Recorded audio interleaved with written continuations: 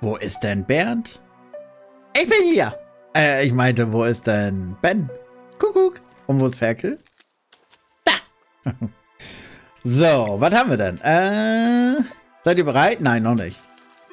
So, wo ist denn Jolande, sag mal? Wie aufregend, dass ihr endlich den Lohn für unsere Sache nach der Münze und Todeinwilligung bekommt. Das wird ein Handel für die Ewigkeit. Hm, Kapitän. ja, ein bisschen scheiße gelaufen, ne, würde ich sagen. Achso, das ist der Händler, ne? Aber der hat ja immer noch nichts. Nee, nee, nee, nee, nee. Nee, nee, nee, nee. Aber gibt es jetzt hier noch irgendwas zu tun? Ich meine, da war ja, da war ja so ein Seil oben links. Weißt du? Da muss auch was geben. Sehen wir noch nichts. Guck mal, der ist verdächtig. Ich habe alles verloren. Ein Pfad führt durch die Trümmer. Brisk verlassen? Ja. Ich darf Brisk verlassen. Jawohl, tschüss. Aber trotzdem bin ich ja hier falsch. Hier gibt's ja nichts.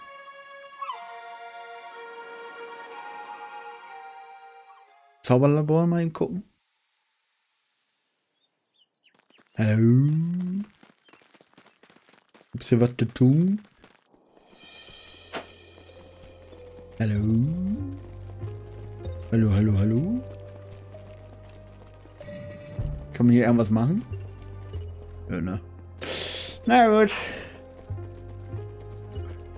Könnte ich jetzt wieder ganz zurückgehen? Ne, könnte ich wahrscheinlich auch nicht, ne? Ich denke mal, dieses alles absuchen hinterher nochmal, dann macht man hinterher, wenn man mehr Freiraum hat. Hier darf ich jetzt wahrscheinlich nur raus wegen Angeln, eventuell. Ich hätte gern ein Boot, um rüber zu gehen, aber habe ich nicht, ne? Naja. Du, du, du, du, du, du. So, da bin ich wieder. Guten Tag, guten Tag. Wir waren nie weg, wir waren nie weg. Ja, dann Action war. Ich bin bereit, bereit. Bist du auch bereit? Dann lass ein Abo da. Bist du bereit? Lass ein Abo da. Bist du bereit? Bist du bereit? Lass ein Abo da. Lass ein Abo da. Psst. Und dann sprach er, spürt den Schmerz der ewigen Sünde und verwandelte sich in eine halbseidene Gestalt mit schönem Gesicht, die mit gefiederten Flügeln sanft auf einen Apfel blies. Bis, also. Und was ist dann passiert? Wir tranken ungefähr 26 Elixiere, die wir für später aufsparen wollten und stiegten schließlich. Und achso, und siegten schließlich. Ussa. Ein tapferer Kopf. Wo ist Porky? Hm, was? Uh, uh, Unwetter. Dass die sich auch nicht wundern, wo Porky auf einmal hin ist, ne? Bereit machen, wir legen demnächst ab. Befehle, Kapitänen. Beschützt die Dorfbewohner, bis wir zurück sind. Wird erledigt. Gute Reise, Kapitänin. Wann darf ich dir denn die Musiknoten geben? Wann können wir endlich unsere äh, Regenbogenschnecken abgeben und und und? Es geschieht alles so schnell, dass kaum Zeit für Erklärungen bleibt. Also, Nein, wer hätte das gedacht? Bitte sagt meiner Mannschaft nichts. Pocky! Wir wussten es eigentlich schon. Also, Ben wusste das. Ich bin, ich komme aus dem Stau nicht raus, Porky. Hä? Wieso habt ihr dann nichts gesagt? Ach, du bist eindeutig auf unserer Seite. Nur das zählt. Ich ich wollte dich dein, äh, dein Rollenspiel nicht stören. Ich bin schlau. Nein, ich bin schlau. Ja, welche Gründe du auch immer hast, die, die müssen gut sein. Oh, und danke, dass ihr die Münze für meine Rettung benutzt habt. Ich. Ach, wir haben uns geeinigt, dass du dein Geheimnis wahren darfst. darfst. Aber gut, dass du uns jetzt vertraust. Moink. Es tut mir leid, ich hätte... Ach, schon gut. Wir sind jetzt ein Team. Ihr versteht also, dass die Eroberung der Abendlichen nicht so leicht wie gedacht ist? Ja. Und außerdem schulden wir dir was. Also umso besser. Moink. Danke. Ich mach das schon. Ja, ich auch. Jetzt. Tschüss. Platsch. Bum, bum, bum, bum, bum, bum. Da sind wir, das Quattro-Team. Nein! Die Abendliche wird jeden Moment in die See des Nachtmaß zurückkehren. Geht sofort von Bord!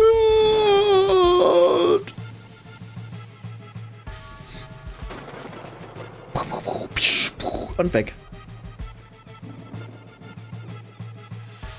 Äh, tot. Ich nicht. Puff. Ich auch nicht. Und ich erst recht nicht. Was ist passiert? Ich habe jemanden gesehen und dann puff. Willkommen in der See des Nachtmaß. Hä? Tolle Leistung, eure Seelen einfach so an einem alten Piratenfluch zu binden. Hallo.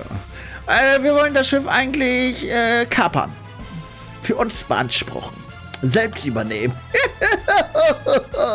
das ist ja mal das Witz des Jahrtausends. Und wie wollt ihr das anstellen? Nein, ich beiß dir in den Fuß. Diese zwei hier sind Krieger der Sonnenwende. Ein Hase und ein Schwein. Wie bitte? Ich sehe aber einen Bär. Er meinte ich auch. Sie können Sonnenmagie einsetzen. Niemand ist dagegen immun. Sonnenmagie? Was? Wie kann es nur so einen Zufall? Ihr seid eine Halluzination, nicht wahr? Ich guck weg. Seht euch vor. Und ich guck euch wieder an. Okay, Sturmkala hat eure Anwesenheit gespürt. Ich schätze, das macht euch Ui. Du bist also die, die, die, die Steuerfrau nennen? Mein Name ist Hortens. Benutzt ihn. Keine Ahnung, wieso ihr alle hier seid, aber schön, dass endlich mal jemand zum Kaffee kommt.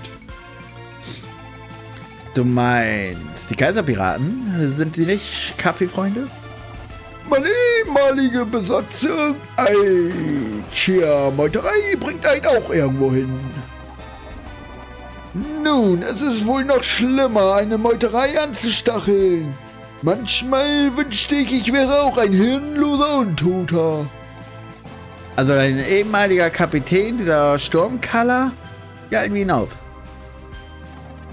Wenn mich das letzte Jahrhundert irgendwas gelehrt hat, dann dass es nicht möglich ist. Der Fluch lässt nur zwei Möglichkeiten offen. Entweder Sturmkaller gibt auf oder ich lasse die Abendliche sinken. Und wie sieht's aussieht, will nichts davon in naher Zukunft eintreten. Und was werden wir ihn bekämpfen? Jetzt schaue ich euch wieder an und denke mir, du bist behindert. Aber Achtung, Sturmkalle ist der fähigste Windmagier, den die Welt je gesehen hat. Ach, wir haben keine Angst vor einem Kampf. Ich mache sie alle fertig. Ihr denkt, ihr kommt gegen einen Groll an, der eine alltraumhafte Parallelwelt beschworen hat, um seine Besatzung bis in alle Ewigkeit zu quälen? Also, wenn ich es mit Ferkel aushalten kann, dann auch mit diesem Sturmkaller. Hört mal, wenn ihr unbedingt das Schwert gegen ihn erheben wollt, dann sei es so. Aber erst müsst ihr diese Windbarriere schwächen. Ja, wo beginnen wir? Es gibt drei Blitzsäulen, die ihre Energie zum Strudel zurückleiten, indem er seinen endlosen Sturm kanalisiert. Wenn ihr gegen ihn antreten wollt, ist das der erste Schritt. Wo sind die Säulen? Selbst wenn ich es wüsste, könnte ich es in diesem Albtraum hier nicht sagen. Okay, wie wär's für den Anfang mit einem Test? Meine Karte sollte unter Deck in der Küche hinter dem Mannschaftsquartier sein. Kommt ihr lebendig damit zurück, unterstütze ich euren Plan. Eine Karte? Kommt sofort. Die abendliche. Ich muss aber mal eben meine Nase putzen. Moment. So. Holen wir uns mal diese blöde Karte. Muss ich doch, äh, aua, okay. Psch, psch, psch. Los geht's, wir kapern das Schiff. Psch. Okay, kriege ich eigentlich Schaden? 98? Puff. 98, okay, dann nicht. Da geht's auch nicht lang, okay. Hier hoch? Oh, ich bin schlau. Ja, wissen wir, Ben.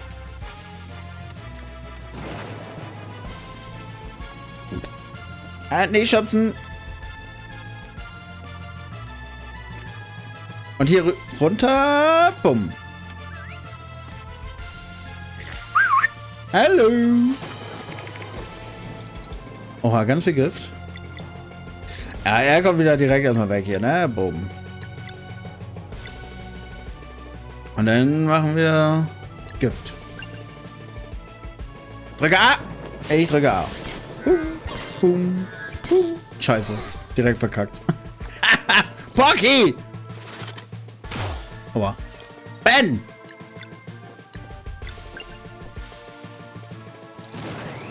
Blum, blum, blum, blum. Mann, das ist auch verkackt. Seelenreißer! Ich zerreiße deine Seele! Aua!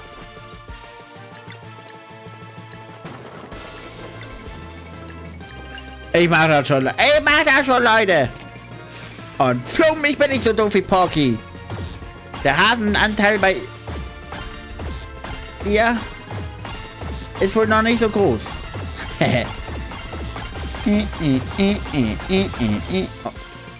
oh nein, resistent. Ah, Mann! Ich wurde erschossen! Tschüss! Aua! Oh Mann! Aber da, was liegt denn da Schönes?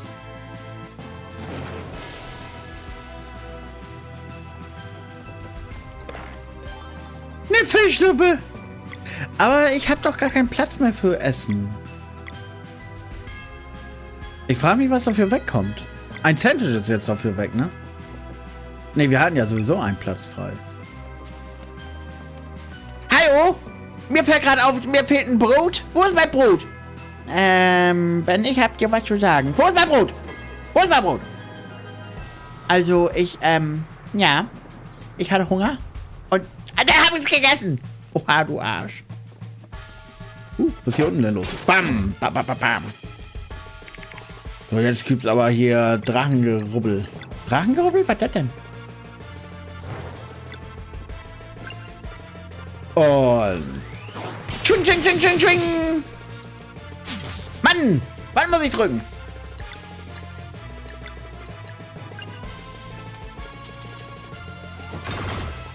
Ah, das hat wenigstens funktioniert. Meine Seele! Haha, abgeblockt. Meine Seele! Abgeblockt. Äh. Ah, Mann! Komm, jetzt schaffen wir das aber. Wer noch gelacht?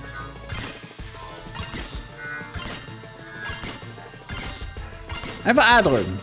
Ist auch nicht so schwer. Bum, bum, bum, bum, bum, bum, bum. Jawohl, schön.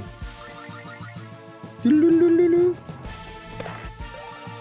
herzhafter Einkauf. Du kannst keine. Okay, go, go, go, go. Okay, dann würde ich sagen, Brot für alle. Leichter zu kochen als zu essen. Hä?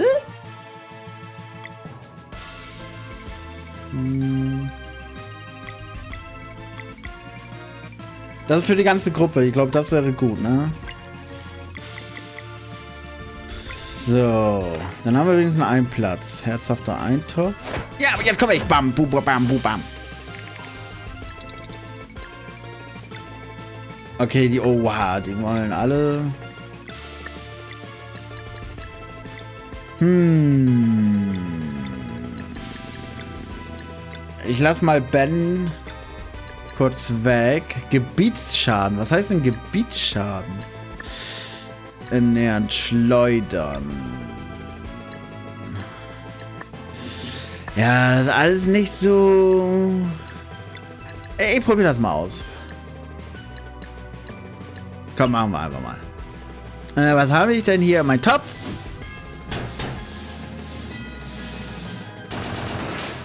Aha, nichts gebracht. das hat ja gar nichts gebracht.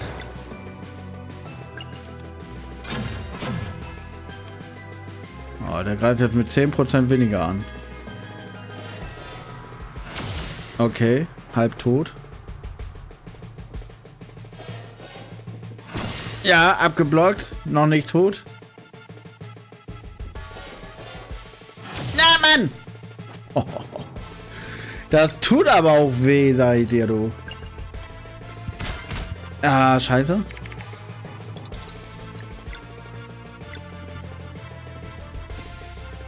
Den schleudern. Jawohl. Immer noch nicht tot. Denk mich am Arsch. Giftsalbe. Oh, die muss reinhauen. Okay, jetzt aber. Den dreimal treffen. Schwing, schwing.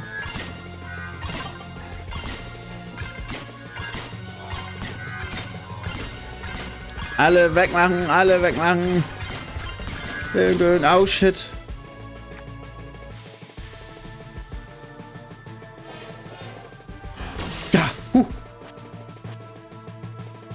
Okay, Ferkel. Was denn? Meine Seele! Äh.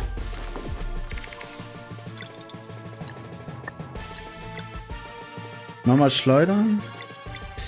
Nee, jetzt tauschen wir mit Ben. Ben macht das schon. Ja, oder auch nicht.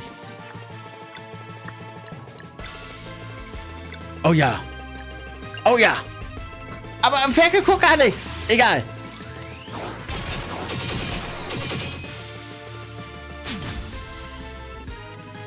Hab ich was verpasst? Ja, alles gut. Okay, wir müssen wieder was essen. 90. Äh, für die ganze Gruppe. Ja, Fischkuchen. Kuchen!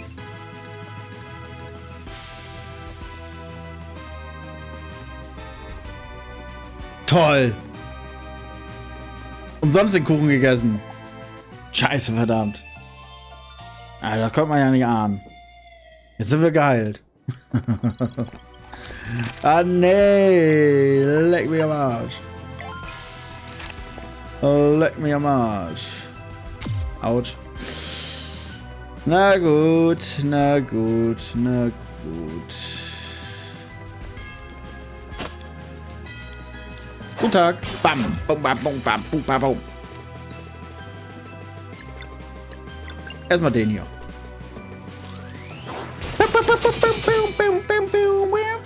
Jawohl.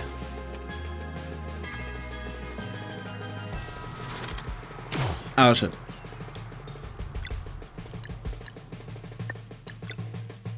Ich nehme einfach mal das. Und das. Und schwing.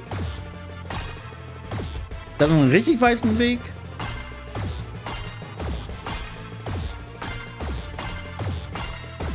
Das Schwere ist immer, wenn diese unterschiedlich ankommen. Shit. Shit. Aber egal, ich mache das gleich nochmal. Twing, twing.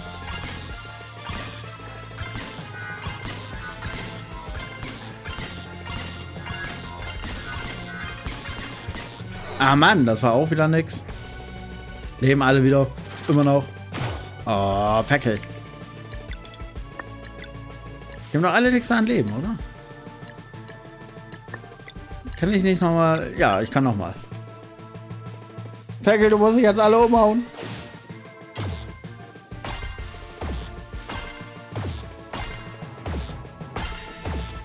Bum, bam, bum, bam, bum, bam, bum, bam, bum, bam, bum, bam. Nee, einer überlebt.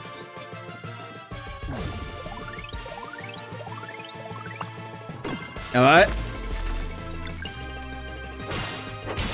Da holen wir uns gleich direkt erstmal wieder aus.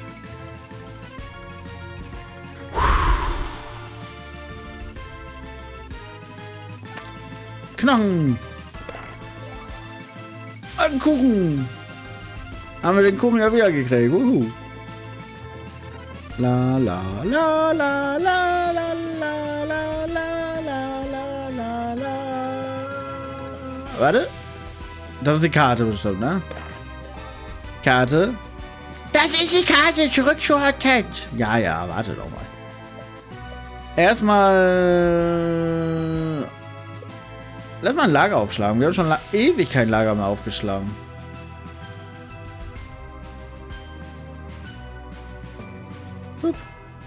Ein Lager hier? Hm, okay. Hortense wirkt nett. Hm, wir tun hier das Richtige. Okay. Hortense hat wirklich drauf. Könnt ihr euch vorstellen, so lange durchzuhalten? Sturmkaller, es wird Zeit, dass jemand es beendet. Oh, ihr habt ein neues Artefakt gefunden. Lass mal sehen. Habe ich? Eine neue Geschichte. Die drei Schwestern. Hey, wollt ihr eine Geschichte? Du. Die drei Schwestern.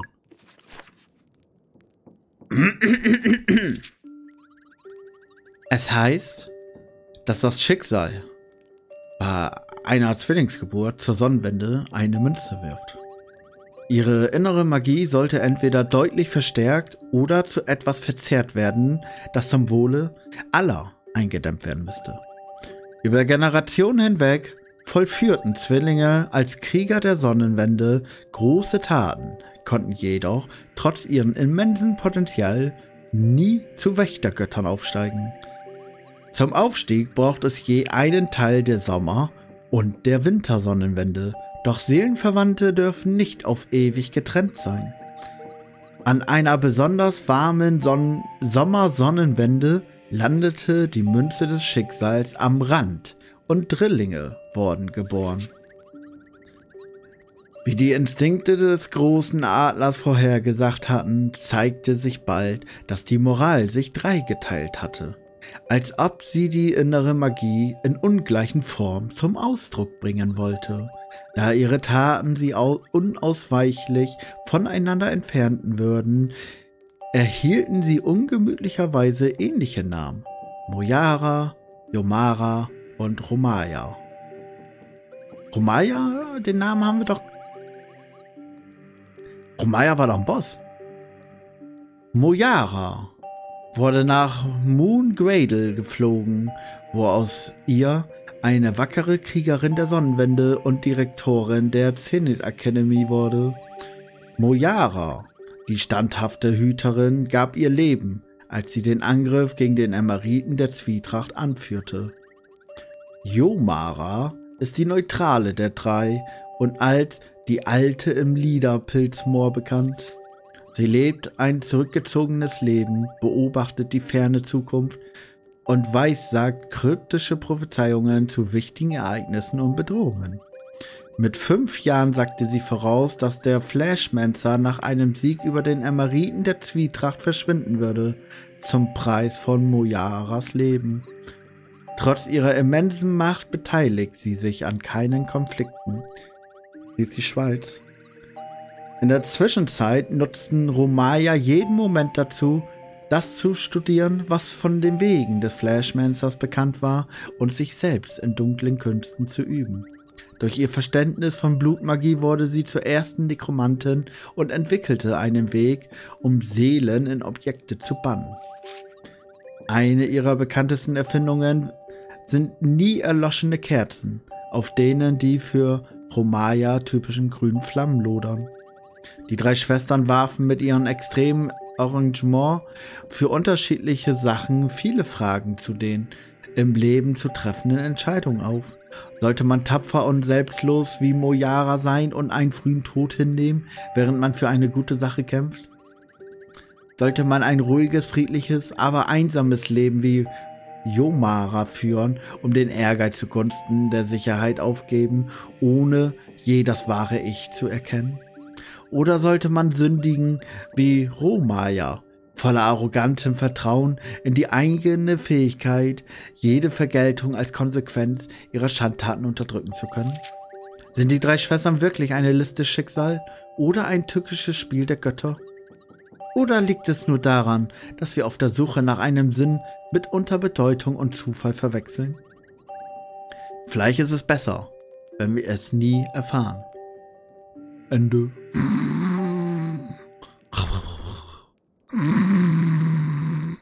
Danke fürs Zuschauen, ihr seid dabei gewesen. Hatten Spaß zusammen, haben viel erlebt. Ferkel und Ben, die sind das Traumteam. Lasst ein Abo da, das wäre echt ein Hit. Kinder der Sonnenwende, wir sind eins im Spiel. Seid dabei im Meer der Sterne, das ist unser Ziel. Mit euch ist jeder Tag ein kunterbuntes Abenteuer. Lasst ein Abo da, wir freuen uns so sehr.